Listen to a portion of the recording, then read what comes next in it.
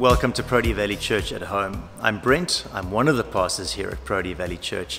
It's great to have you joining our online teaching. We do believe, though, that for the church to be the church, it really means gathered community and connection to others. If you're visiting, I'd love you to scan the QR code that is on screen right now, and it'll help us to connect you into one of those midweek communities where you can be nurtured, prayed with, and prayed for, and where you can be sent out into your neighborhood, into your workspace to make a difference for Jesus' sake. Secondly, we'd love to plug you into one of our serving opportunities. There are just countless spaces in the life, work, and ministry in the church and out from the church into the broader community. And we'd love to take what you have been given by God and somehow leverage it to make Jesus' name known amongst the nations. And so we'd love you to connect with us in those ways. If you want any further information, do plug into our online platforms. Uh, our website, proteavalleychurch.org, has all the information you could need and you can connect to us from there. We're going to head straight into last Sunday's online teaching, and so let me pray. Father and Son and Spirit, thank you so much for the gift of your great love for us that was exhibited by you creating us, molding us, and shaping us in the image of God. Thank you, too, Jesus, that you exhibited love for us when you died for us in our place on the cross, and that you have allowed us to have the promise of eternal life. But until the day arrives when we are gifted that final gift of eternal life, Lord, we want to be found about the stuff of your kingdom, seeing your kingdom come here on earth. And so may this time of teaching equip us and train us and make us useful for you. And so we ask your blessing now, and we ask this in the beautiful name of Jesus. Amen.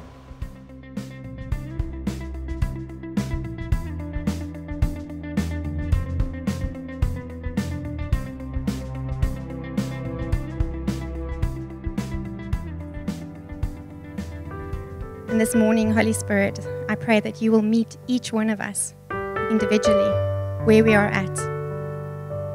Prepare our hearts for your message. Make it good soil that we will grow to become more and more like you, and so that we will see more of your power of the Holy Spirit in our lives every single day. It's my prayer in Jesus' name. Amen. Let's be seated.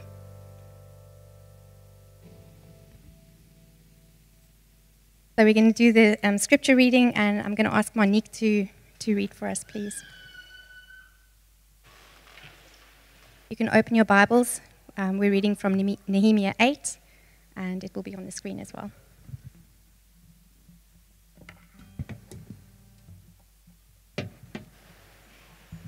All the people assembled as one man in the square before the water gate. They told Ezra, the scribe, to bring out the book of the law of Moses, which the Lord has commanded for Israel. So on the first day of the seventh month, Ezra, the priest, brought the law before the assembly, which was made up of men and women and all who were able to understand. He read it aloud from daybreak till noon as he faced the square before the water gate in the presence of the men, women, and others who could understand. And all the people listened attentively to the book of the law. Ezra opened the book. All the people could see him because he was standing above them. And as he opened it, the people all stood up. Ezra praised the Lord, the great God, and all the people lifted their hands and responded, Amen, Amen. Then they bowed down and worshipped the Lord with their faces to the ground. They read from the book of the law of God, making it clear and giving the meaning so that the people could understand what was being read. Then Nehemiah, the governor, Ezra the priest and scribe, and the Levites who were instructing the people said to them all, This day is sacred to the Lord your God. Do not mourn or weep, for all the people had been weeping as they listened to the words of the law. Nehemiah said, Go and enjoy choice food and sweet drinks, and send some to those who have nothing prepared. This day is sacred to our Lord. Do not grieve for the Lord is your strength. You may wonder why we left out some of the verses because they have a whole long list of very difficult to pronounce names. And I thought it would be easier to save Monique from doing that. Uh, Liesel, your Afrikaans song was great, by the way. Thank you so much. I did see that it changed your pronunciation of Nehemiah to Nehemiah. Um, but that's, that's the way these things go. Let's pray, and then I'm going to teach you God's word this morning. Father, thanks. Um, just thanks for the beauty of your people, Lord, uh, across all generations who have experienced your love, who have found their lives just transformed by you. And we pray that the same thing would happen in this space this morning. And so, Lord, would you be manifest in this space? Would you give us uh, ears to hear, but not just to hear, but to really listen and to absorb your word? May it change us and transform us so that when we walk out of this place, Jesus, we look a little bit more like you. And would you continue that transformation until we get to see you face to face one day? You began a good work in us, Lord, and would you carry it on? To completion. And we know, Lord, that we are going to stumble, we are going to get confused, we are going to get things wrong, but you're a God who is gracious and compassionate and slow to anger and abounding in steadfast love. And so thank you, Lord, that even when we fail, that your love is sufficient and it covers a multitude of sins. So may you have your way with us this morning, Lord. May our words, uh, may they be faithful to Scripture and to what you would want to teach us. And so help us, Lord, to really listen to your voice ultimately. Not that it's me speaking, but that you would somehow be speaking through me. And so we ask your blessing in Jesus' name. Amen. So, the Middle East has been like a politically explosive place across almost all of human history. Um, there is this great line about the Islamic nation in the scriptures uh, where Ishmael goes off. It says he will be a wild donkey of a man and will kind of be, always be at odds with people. And we have seen that in the Middle East. And so you have these factions on the left and on the right fighting. And there were just constant wars, constant battles. We as a church went to go support Syrian refugees who'd come out of the war in Syria. We were in a little town called Mafraq, just inside uh, Jordan, about five kilometers uh, from the, the border. And in fact, on the one trip we took, we could actually hear the bombs falling on the border post uh, as we arrived. And it was just, it was just an amazing experience to see the reality of war, I guess, close up up front. We saw video images that these families would show us of Aleppo, which was their, one of their hometowns, which was this beautiful city, and it was just bombed out, walls destroyed, everything that was good broken. And now they found themselves in this foreign place, and there was all sorts of complexities of working in another nation as a refugee. And if you read through the Old Testament scriptures, this is in fact the story of much of Israel's history. So in about 1200 BC, they find themselves in Egypt. They lived there for 400 years. There were all sorts of cultural pressures on them, all sorts of uh, ideologies, all sorts of images of false gods that are impressed upon them. And you can just imagine uh, the pressure that there was to conform to that way of life. They come back in dribs and drabs back to, uh, back to Jerusalem and back to Israel. And then in 586, they're taken into exile into Babylon and they spend 130 years in Babylon. This is about four generations of people. So, like the last family that lived lived in Jerusalem was like your great, great, great granddaddy and grandma. And, and all this history is now being eroded away. And again in Babylon, just all these fantastic images of false gods. There was the worship of Nebuchadnezzar, the king himself. And so the people of God have all of these other voices pressing in on them to believe other things. And then, under Nehemiah and Ezra, they find their way finally back into the promised land, back to Jerusalem, back to home base. But so much of what held them together as a people, so much of what was important to them as a culture had been lost and had to be rediscovered. And so, into the midst of this, Nehemiah, not a religious guy, but a faithful guy, he wasn't a priest or anything. He, in fact, worked in catering in, uh, in the king's uh, house. He was a cupbearer to the king. He is the guy that says, We've got to go home. We've got to get our people back. He is the one who engages with the king and finally brings God's people back. But where we cut into the story now, after 130 years of being away from home, the people are back in the promised land, back in their city, back in the place where they worshiped God. And they come to Ezra, and it's now his moment. Like, you're the guy that's been trained up in all of this. We want to hear God's word preached to us. And what I love about these passages of scripture is we read them, and I mean, so you heard Monique read it to you. Great job. Thank you, Monique. And I love the way you're all sitting like lying slouched. We'll, give, we'll forgive you. It's like 40 degrees Celsius, okay? But you're like lying slouched in your chairs. When, when Ezra stands up and opens the scroll, because it wasn't a book, it would have been a scroll, and it would have contained probably the first five books, the Pentateuch of the Old Testament. He stands up and opens this on a platform above the people. Do you read what happens? Everybody stands. And then the next thing, they're face down, worshiping God, going, Amen, Amen. And we're just like, Yeah, read the word to us, man. Give it to us, Monique. And, and maybe we should have a little bit more respect. So when, when I first entered the ministry, I was at Bellville Church, and we had this thing where we would have the Bible, a big, like a massive big tome of a Bible. And the elders would walk out on a Sunday morning, and somebody would, would step out before the Bible came out and say, Please stand. And everybody would rise up, and then the Bible would be paraded down the aisle up to the front and would be laid on the communion table. And maybe, maybe we need to do something like that again because it seems to me we take God's word quite lightly. And so today I want to talk a little bit about the beauty of God's word and the power of God's word.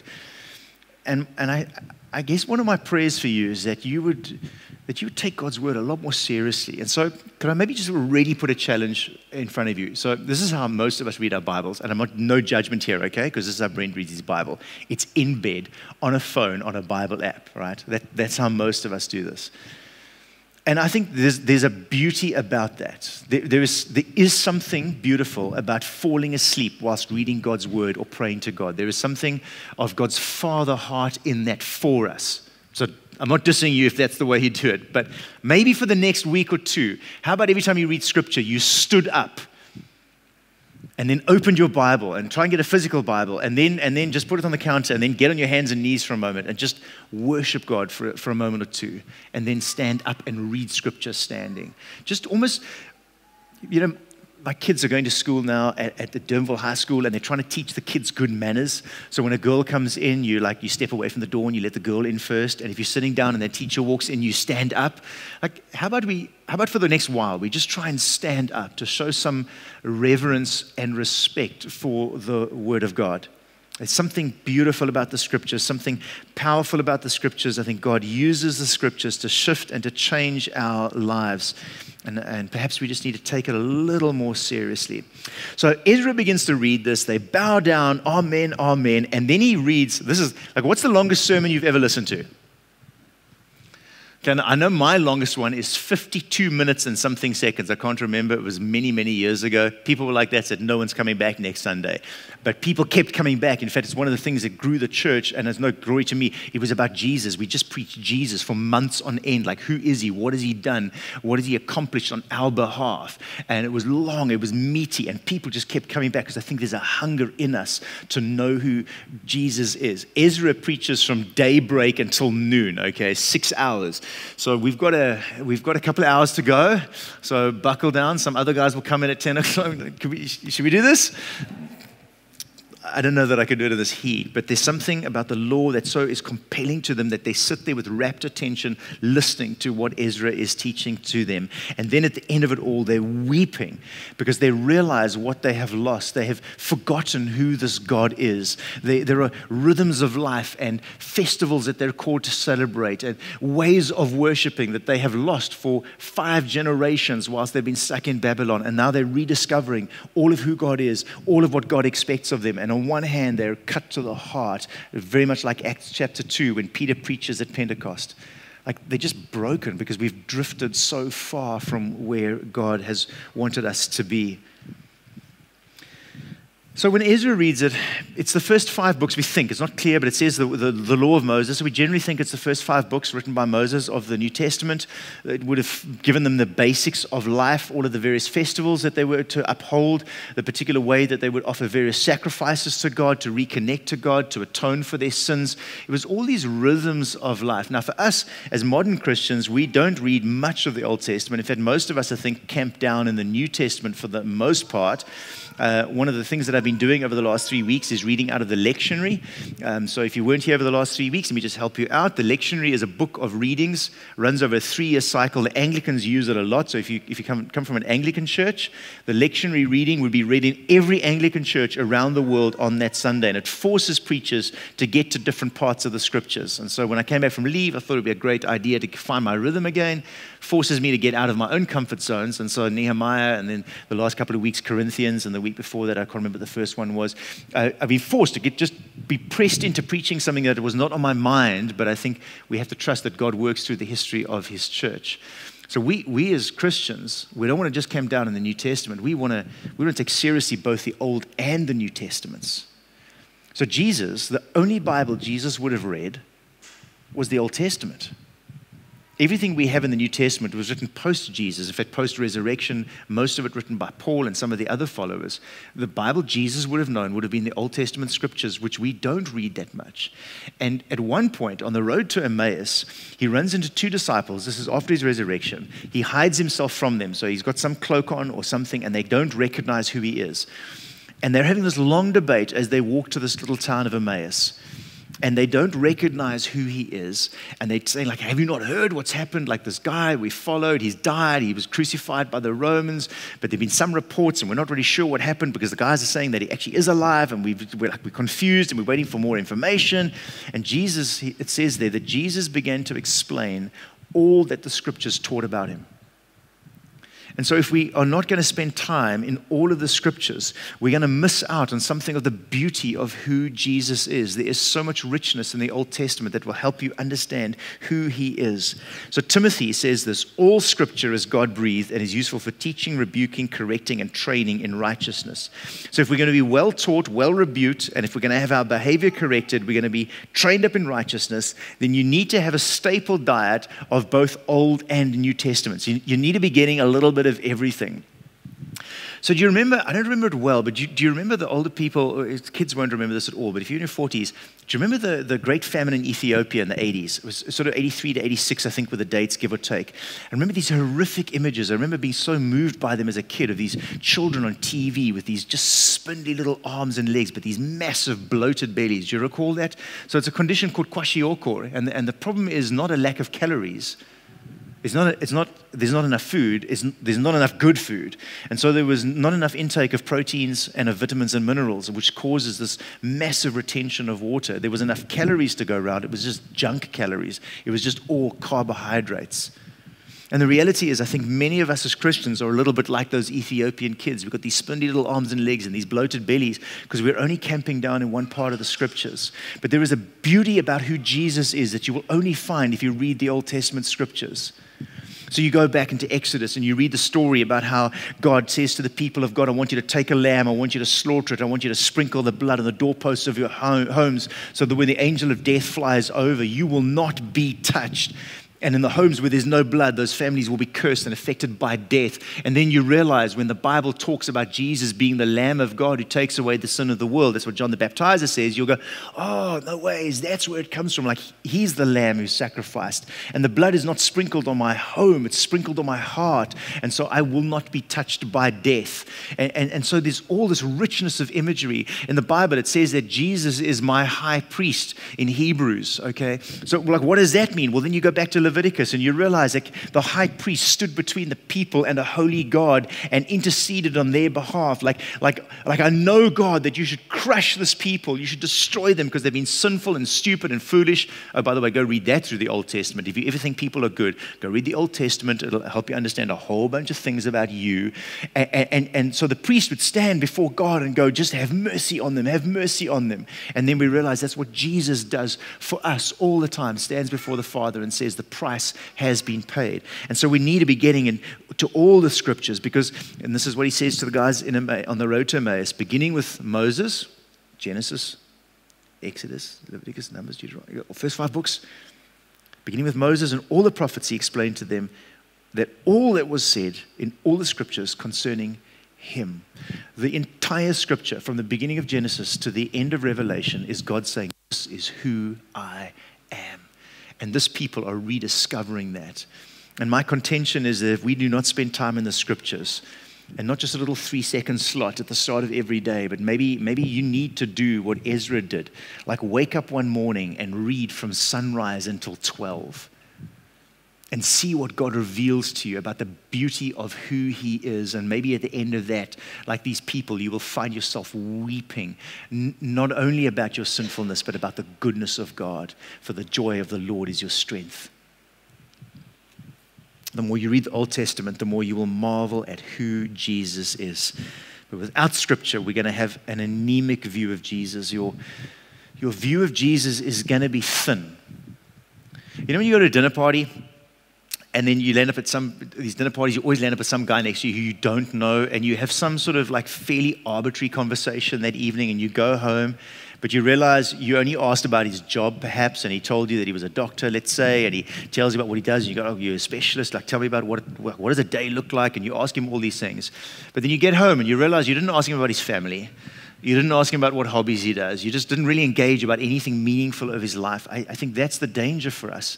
Like we, we have a view of Jesus that's it's just thin. It's transparent. It's not, it's not the wonder of him. It's not the depth of who he is. There's this, there's this line in the scriptures where Jesus says of a woman who came to wash his feet, the one who has been forgiven much loves much. And I think when you read the scriptures, you will realize how sinful the human being actually is.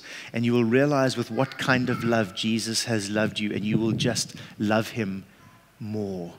And that's the point of the scriptures, and we need to get into them. So I, I, hear some of you asking the question, and I think it's a really valid question. Sure, Brent, I hear you. Okay, I understand you. I totally I agree with you. I should be spending way more time in the Old Testament, and I know I should be reading much more of my Bible, not just the little devotional that I read every uh, Monday morning, you know, every couple of days. I, I know this, but I, I, don't know how to understand the scriptures. Like I read them, and I'm just like, it, like I, it's dense to me. I can't, I can't get into it. Uh, like, like I read some of these sections in Leviticus about slaughtering of animals, and I don't know what I must do. And you know, Fido looks across the room at me, and he gets quite nervous when I read Leviticus because like he's not sure how this is going to end for him. Like, what do I do here? And, and, then I read some of the New Testament stuff, like Paul's writings. Paul writes many of the New Testament letters, and the writing is dense. I mean, the longest sentences. Like he, he has he has one paragraph that is an entire sentence for like 16 lines. Like, dude, do you not breathe when you're writing these things?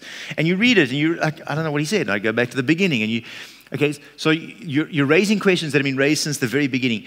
Peter writes about Paul. He says his letters contain some things that are hard to understand. So if you ever wanted to be in good company, you with Peter, the rock on whom I shall build this church, is you, Peter.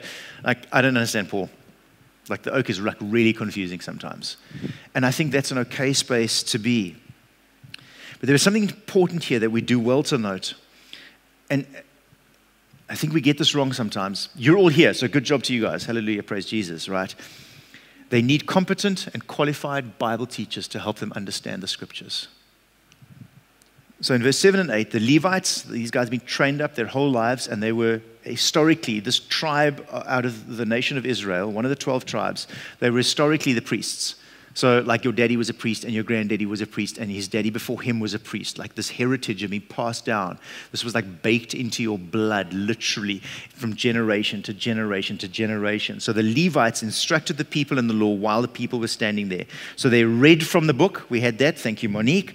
Okay. They read from the book of the law of God. They then, hopefully, what I'm doing, they made it clear and gave the meaning so the people actually understood what was being read.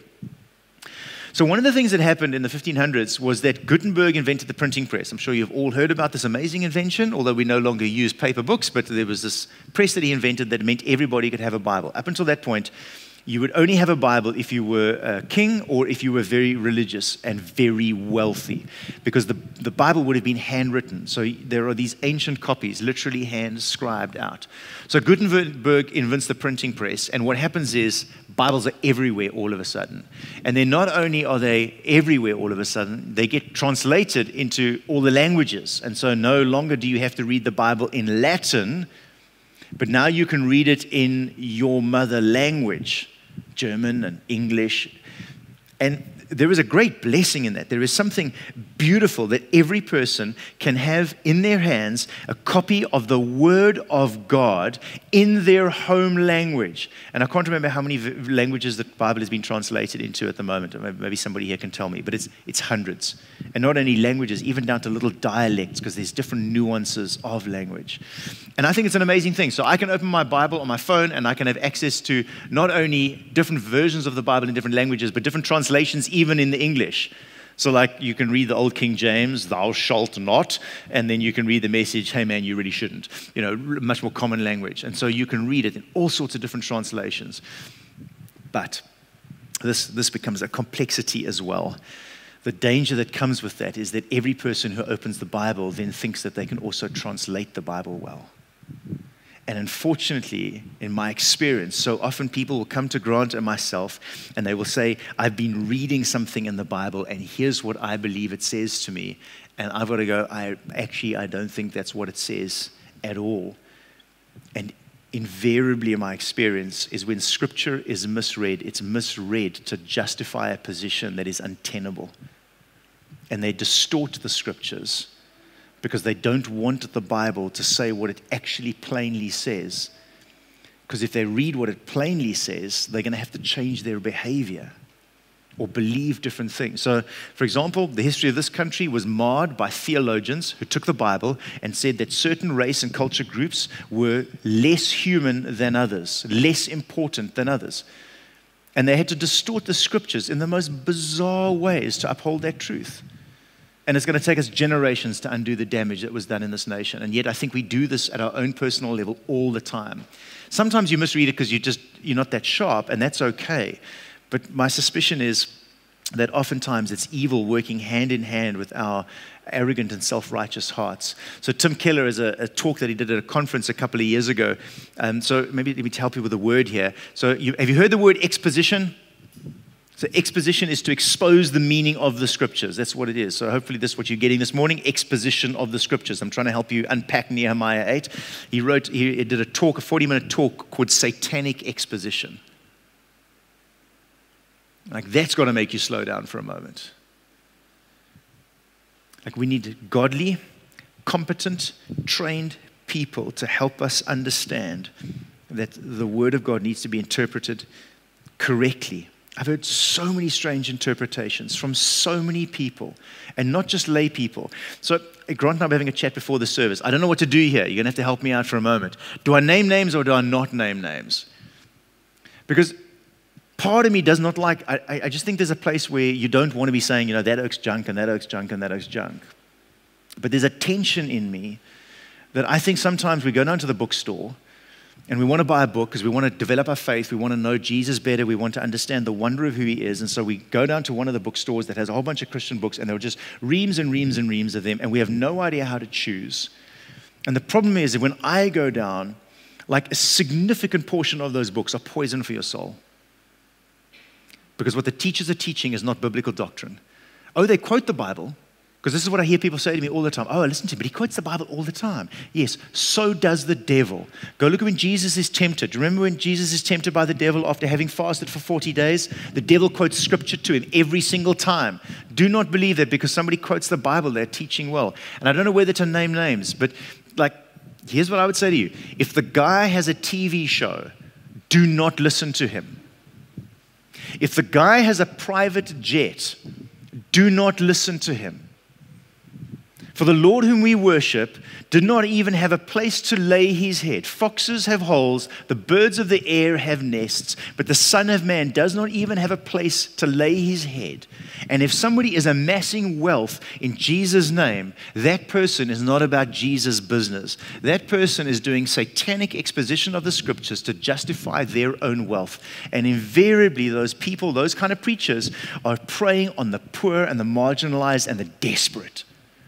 You want to see the prosperity teaching that happens in Africa? Every street corner has some church, and the basic message is Jesus wants you to be healthy, wealthy, and happy. And if you do not have those three things, you have not been blessed of God. And that means that most of Africa is not blessed of God. And I do not believe that. For I can have nothing and count myself blessed of God. Go read the scriptures. Read the scriptures. Let scripture interpret scripture. Do not let your heart interpret scripture. And pull yourself under good, godly, biblical preaching. So Ezra and the Levites, they explain God's word to the people. These guys are trained for years. Peter does the same thing at Pentecost. You can go read it in Acts chapter 2. Three years he interned with Jesus. Like that's a pretty good internship, right? I reckon you, like, you know your stuff if you've walked with Jesus for three years every day, and then he preaches at Pentecost. 3,000 people get saved on the day.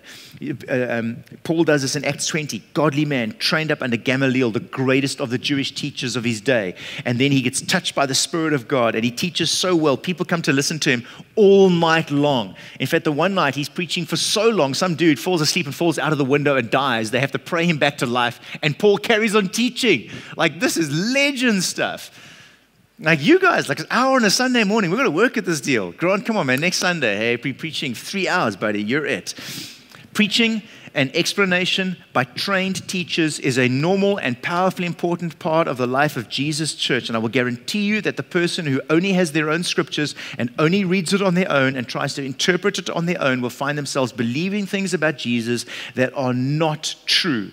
You need to study your scriptures, but do not do it in isolation. Draw around yourself godly people who will help you interpret the scriptures and apply them to your lives. You're here, good job. You're coming under godly preaching. Grant and I work really hard to, to make sure that our sermons are solid, that they are biblical. We will crit each other. We will make sure that we're preaching to you in the best way possible what we believe is the Word of God. And we will get this wrong sometimes. And you get to call us out on that. So, on one hand, Hebrews tells us have confidence in your leaders and submit to their authority because they keep watch over you as those who must give account. And we take it really seriously. We do not take preaching lightly. Okay? But on the other hand, you need to be like the Bereans. This is an act. The Berean Jews were of more noble character than those in Thessalonica, for they received the message with great eagerness and they examined the scriptures every day to see if what Paul was saying was true. So Paul's going, Well, this is what we believe about Jesus. And they're going, Well, that's bizarre. How can we believe that God became flesh? And they go and read the scriptures, and then they see the promises out of the Bible that a virgin will be with child, and he will be Emmanuel, God with us. And then Paul says, but he's going to die for your sins. And they're like, what do you mean? No, he's the Lamb of God. Well, they go read the Old Testament or the Lamb of God. And, oh, wow, this actually does make sense. Use Scripture to interpret Scripture. Be very careful of people who take one line of Scripture out. Uh, so maybe, I won't mention the name, but one of the major mega churches whose, whose music you listen to all the time. I heard the worst sermon I've ever heard in all my life. So in Acts 26, Paul stands before Agrippa, the king. And he says, in the ESV, he's got a better translation. So in the ESV, he says, I consider myself fortunate, O king, to stand before you today. That's the sentence. I consider myself fortunate to stand before you today. One of the translations, an old English translation, says, I think myself happy to stand before you today. And this preacher took the words, I think myself happy, and preached a sermon about you can think yourself happy or you can think yourself sad. Now, that is the most ungodly self help sermon I think I've ever heard. It just batters even the English into a way that God never intended it to be read, and it misses the point of the text entirely. Do not trust everybody with your heart. And the scriptures have the ability to shift your heart. And scriptures, satanically exposed, will have the ability to twist your heart. There is a caution here. So, if we have the scriptures and you have competent preachers, what happens? Well, the people in verse 9, they are weeping. Listen to what happens in Acts 2. Peter preaches to them. The people heard this, they were cut to the heart, and they said, What must we do? And so, let me close with maybe here are the most clear tests of what I think biblical preaching would look like. Two things if you're looking for biblical preaching, if you're looking for something that's going to shift your life like it shifted the lives of these Jewish people, every time God's word is spoken to the Jewish people across all of the Old Testament, things shift. Because here's what happens they, they abandon God, they get into trouble, they cry out to God, and God puts his spirit on one of his prophets, and the prophet says, Thus saith the Lord. And they return back to God. And then they forget and then they ignore, and then they distort, and they find themselves far, and then they cry out to God. And, and so part of the returning to God is always the scriptures. They call us to respond to Jesus, and these are the two tests. Preaching that does not call you to repent of your sin is not biblical preaching. I mean, you need good advice at a whole bunch of levels. You need some practical help in a whole bunch of places. But at some point, the scriptures call us stop walking away from God and walk towards Him. And so these people are weeping because they realize that they have broken all of God's commands. Because if you go read the first five books of the Bible, by the way, you will find a lot of thou shalts. All of the 10 important ones are in that section, by the way. And so as Ezra begins to read this on that morning, and by the time they get to 11 o'clock, these guys are like, oh my goodness, like this is so bad. Like I had no idea. Like I had no idea. I mean, I've been doing this and I, and I, I didn't know. And, and like, what do I do now? And I was taught this nonsense by my dad because clearly he didn't know either. And like, we're in trouble, guys. And then Ezra begins to read about a God who punishes sin. And they're like, like we're in real trouble. Like, like we have an angry God and we've not done what he commanded us to do. But then they tell the people, this is, and this is so important, the second mark is there is grace in your sin. Stop weeping, guys. This is actually a time for celebration, for the joy of the Lord is your strength. Now, they didn't have the fullness of the gospel. These were, these were hazy promises. But the, the God of the Old Testament, if you watch this, every time Israel calls out to him, God is gracious and compassionate, slow to anger, abounding in steadfast love. So, you want to know biblical preaching? You should hear, don't think so highly of yourself. You've actually got a bunch of stuff wrong. And you need to turn from that. For if you don't, there will be judgment. But then you must hear the other side of it. There is a God who loves you so deeply, so powerfully, that he went to the cross on your behalf, died the death you should have died, because he lived the perfect life that you will never get to live out. And if you trust upon him, your sins will be forgiven. And so when the people come in Acts 2 and they're saying to Peter, like, what do we do? Repent and be baptized, and you'll be saved. And so, those two things are the mark of godly teaching. You, you, don't need good advice, you need good news. God has done something for you. That's what the scriptures teach us from the very beginning. It's always God at work, it's always God redeeming, it's always God transforming, it's God who is forgiving, it is God who is lifting up the broken, it is God who is not crushing a broken reed, it is God who's not snuffing out the wick. It's always God at work. You read the New Testament, it's like it's clear as day. God has done something for you. But part of that is you need help. Like he's ready to help you, but, but you're sick. And you need those two things. And if you're not hearing those two things, you're not getting the gospel. You're not getting biblical preaching. And so many of these megachurch pastors that I hear, the message is basically you need to be healthy and happy and wealthy. Oh, and by the way, pay me a lot of money so that I can teach you these things. And I don't, I don't see that. In fact, if you read the scriptures at one point, one of the guys comes to the apostles, We see you doing some cool stuff. Can I buy this gift? I want to do the magic too. May you and your money perish with you because you thought you could buy the things of God. You cannot buy what Jesus offers because he gives it to you freely. That is the good news of the gospel. And so you need to hear, I'm not so great and he's everything. I'm empty and he will fill me up. I'm weak, but he is powerful. That is the good news message. And may it make you weep. And then if you are feeling a bit weepy because you realize you're a disaster, I, I, may the joy of the Lord be your strength. Go and celebrate. Have a good meal. Go buy some lekker meat. And just remember that God has loved you in Christ. That's the good news message. Let's pray. Jesus, I get so passionate about these things because you're incredible. As I read through the Bible, I just marvel at how you love people, Jesus. You, you find people that are the epitome of what we would call the low. We, you, you find people that are sinful. It's the prostitutes, it's the tax collectors, it's people who have ignored you, it's people who have hated you and rejected you. And yet, Jesus, you keep calling them to come back, for you're a God who is kind and gracious and gentle. You're a God whose love covers a multitude of sins. And there is no sin that you will not forgive. I have no idea what these people sitting before me this morning have done, Lord, but there are probably stories here that would horrify us if they came out. And yet, even those things do not surprise you. And even those things you will forgive, for you, you nailed those things to the cross with you, Jesus. So, Lord, would you help us to get into the scriptures? Thanks that Grant and I get to preach every week. Keep us faithful, Lord. Guard our hearts and our minds. Help us to spend time deeply in embedding the scriptures into us and to listening to other good, godly teachers who will help us become better and better. But I pray for every man, woman, and child in this place, Lord, that they would spend time in the scriptures, that they would come to worship on Sundays, to sit under godly preaching. Protect them, Lord, from from finding teachers who will teach what their itching ears want to hear. And our ears itch for lots of things, Lord. Protect us from the evil one who would want to put in our path, satanic expositors who would make the scriptures say things that they never say, distort the meaning of your word and turn it into something dark and gross and ugly rather than something beautiful and powerful and life transforming. And help us, Lord, as we read through the scriptures. Jesus, help us to have a greater appreciation of who you are and what you have done for us. Help us to remember that you are the living word, not the written word. The written word's important, Jesus, but thank you that it keeps pointing to you, the living word. And thank you that when you come and live in us by the power of the Spirit, the very word of God will be written on our hearts.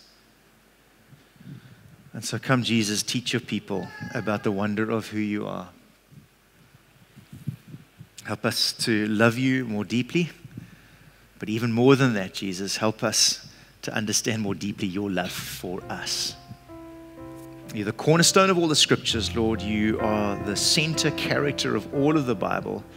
May you be the central character of our lives. We we confess, Jesus, that we keep putting ourselves into that position. It's always about me and myself and I. And I pray that it would become less and less about me and much more, Jesus, about you. Friends, I hope that was a blessing to you. Again, we'd love you to plug in and connect to us and to be the church rather than just watching church. And so head to our website, www.proteavalleychurch.org, and you will find all of the relevant information there. We'd love to help plug you into a midweek community. We'd love to help you come and gather with us on Sunday mornings. We'd love to help find a space for you to serve. One of the ways that you can start serving right now is to scan the code now for SnapScan. We'd love you to partner with us. Ministry costs money. We fund a whole bunch of international missionaries around the world who are taking the good news to the nations. We have absolutely loads of phenomenal life transforming local ministries in various places in our neighborhoods, in local townships, uh, through other organizations who we partner with. And we would love you to partner with us. And that out of your money, we would see fruit, a harvest for Jesus' kingdom. So please do scan that code and partner with us as we seek to see Jesus made famous amongst the nations here and right to the very ends of the earth. I pray that you have a great week worshiping Jesus. And now may the grace of our Lord Jesus Christ, the love of God, who is our Heavenly Father, and the friendship and fellowship of Holy Spirit be with you now and forevermore. Go in peace and serve Jesus this week well. Amen.